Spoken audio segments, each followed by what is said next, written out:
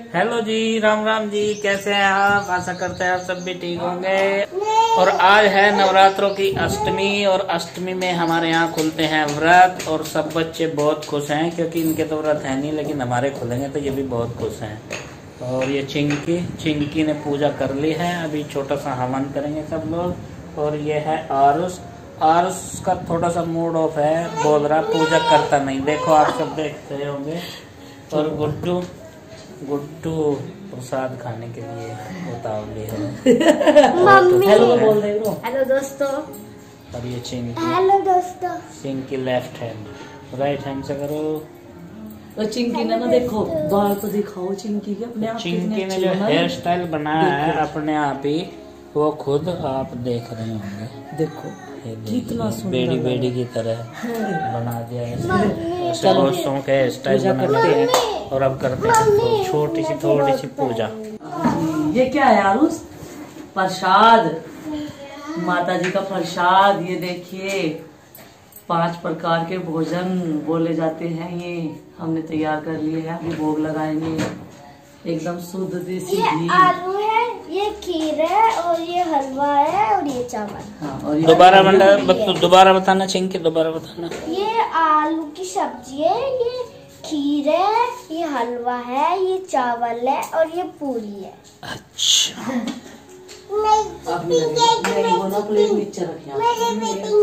इनको कचौरिया भी कहते हैं। लॉन्ग चढ़ा दो।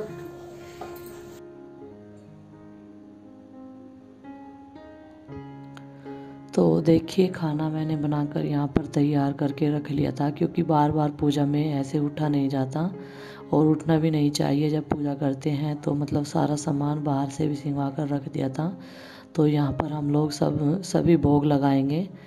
तो बच्चे लोग सब नहलाकर आराम से मैंने खाना बनाया, तब तक प्रीति ने क्लीनिंग वगैरह और बच्चों को नहलाया, सारे काम निपटाए। तो अब आराम से यहाँ पर हम लोग कर रहे हैं पूजा। तो अष्टमी में ही हमारे यहाँ पर व्रत खोले जाते हैं। अष्टमी पूजन होता है। तो सब लोगों ने धूप उठा ली है और अभी भोग लगाएँगे और पहले भोग मैंने लगाया है।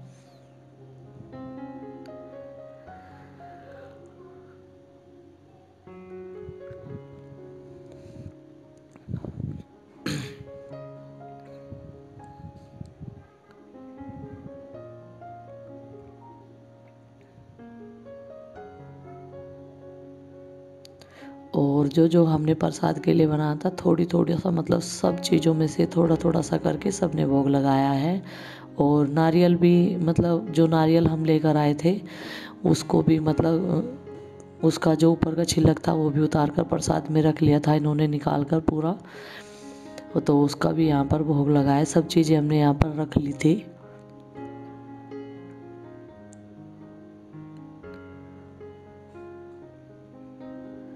तो अभी ये भी प्रसाद चढ़ा रहे हैं, भोग लगा रहे हैं।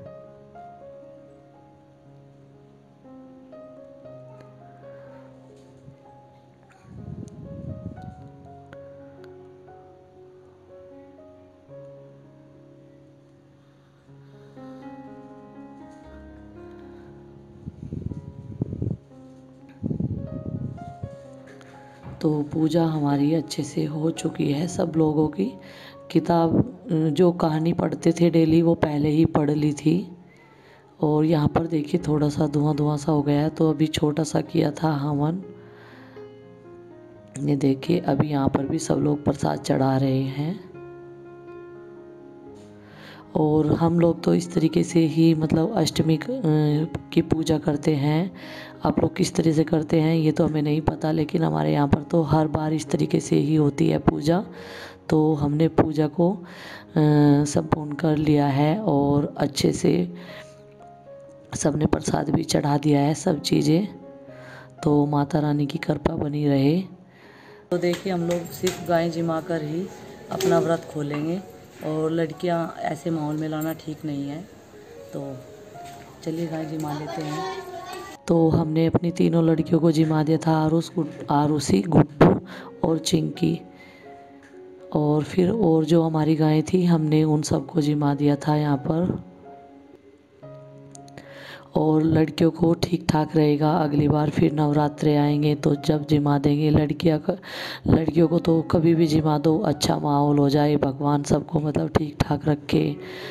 सब चीज़ें पहले जैसी हो जाएँ तो सब कुछ पहले जैसा हो जाएगा तो ये सब तो होता ही रहता है। और मैंने छोटी सी बच्चा के मुँह में भी थोड़ा सा प्रसाद लगाया था। और अभी मैं आपको दिखाती हूँ कि अब मैंने आज सब्ज़ी में क्या बनाया था। पहले मैंने इसी वजह से पहले पूजा का सब कुछ आपको दिखाया है, लेकिन जो जो बनाया है ज़्यादा तो नहीं शेयर कर पाऊँगी। बस जो सब्ज़ी बनाई है वही मैं शेयर कर रही हूँ यहाँ पर। मैंने आलू मटर और जो चाट वाले छोले होते हैं, मटर वाली, चाट वाली होती है मटर, वो वाली चने और मटर और आलू की यहाँ पर सब्ज़ी बनाई है और थोड़ी सी बनाई थी खीर, हलवा, पूरी, चावल। ये सब कुछ ही बनाया था। तो सबसे पहले मैं सब्ज़ी छोक रही हूँ। ये सब चीज़ें मैंने उबाल कर रख ली थी।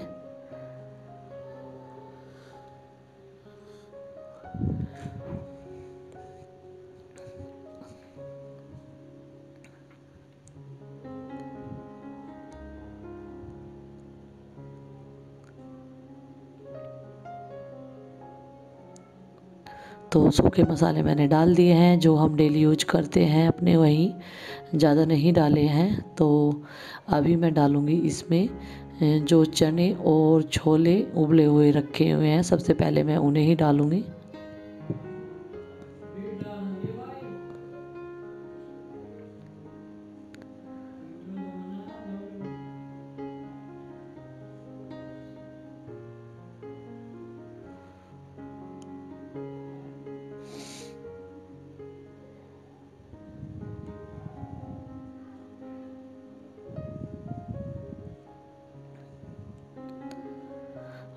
आज मैं सुबह मतलब जल्दी ही उठ गई थी और सबसे पहले मैं नहाई हूँ उठकर। नहाते तो डेली हैं लेकिन और थोड़ा सा जल्दी उठ गए थे तो फिर मैंने मतलब उठने के बाद में ही देखिए ये वाले छोले और चने हैं, ये अच्छे से उबल चुके हैं। और आलू भी मैंने फोड़ कर बारीक कर लिए हैं। तो फिर मुझे जल्दी से ही आज खाना बनाना था और कई सारी चीज़ें बनेगी तो टाइम लग जाता है और यहाँ पर फिर धूप भी आ जाती है। तो इसलिए आज जल्दी ही स्टार्ट कर दिया था खाना बनाना। और देखिए सब्ज़ी का कलर कितना अच्छा आया है।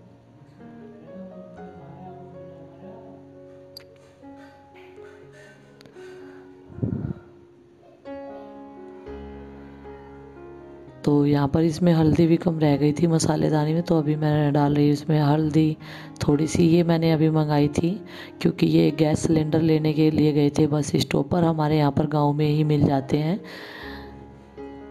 तो अभी मैं बना रही हूँ यहाँ पर खीर।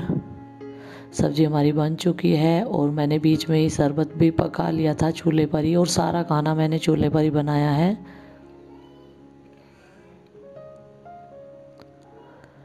और यहाँ पर मैं गूंद कर रख रही हूँ आटा। और ये वाली कचौरियाँ देसी घी में बना रही हूँ मैं पूजा के लिए। बाकी और जो कचौरियाँ बनाएँगे अपने खाने के लिए वो सरसों के तेल में बनाएँगे। तो ये चार पूरी और देसी घी का हलवा वो हम बनाएँगे। सबसे पहले अलग ही।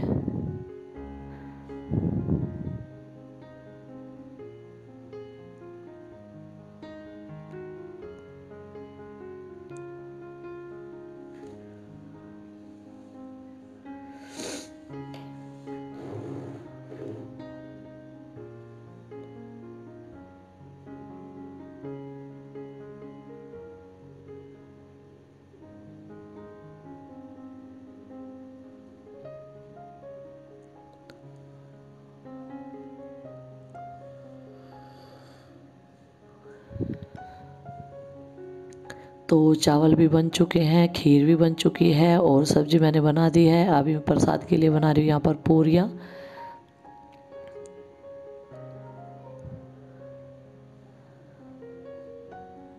और सारा सामान बनाने के बाद में थोड़ा थोड़ा करके मैं मतलब चार पाँच कटोरियों में आराम से प्लेट में लगाऊँगी और तब पूजा के वहाँ पर रख के आऊँगी।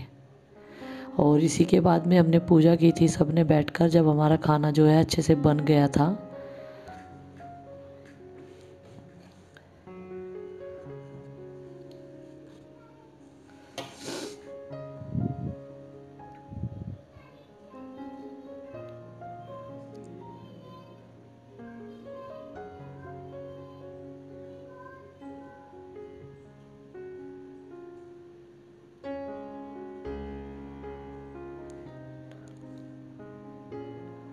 और देखिए शाम का टाइम है। मैं शाम के टाइम गई थी छत पर और देखिए पक्षी, उस दिन से मतलब ट्रैफ़िक कम है तो पक्षी भी इस तरीके से झूम रहे हैं।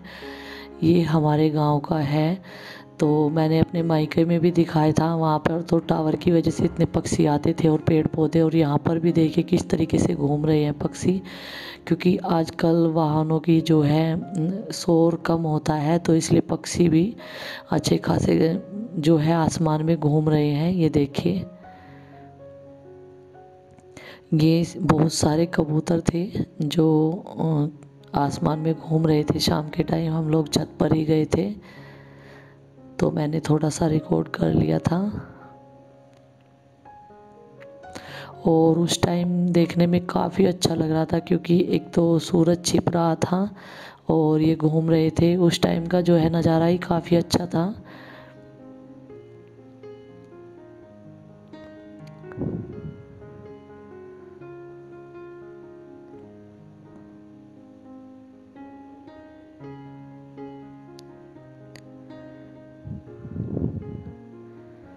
और पूरा झुंड जो है पक्षियों का एक साइड में ही मतलब घूम रहा है और बहुत अच्छा लग रहा था।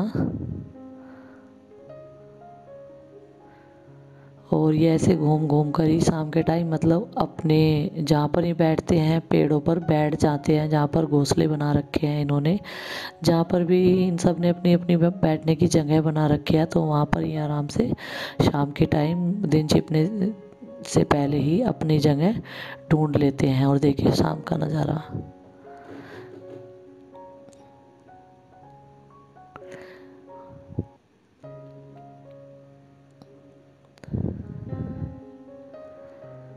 और हमारे आसपास का कुछ इस तरह से दिखता है और बराबर साइड में ही एक घेर छोड़कर मतलब उसके पीछे की साइड है बहुत सारे खेत।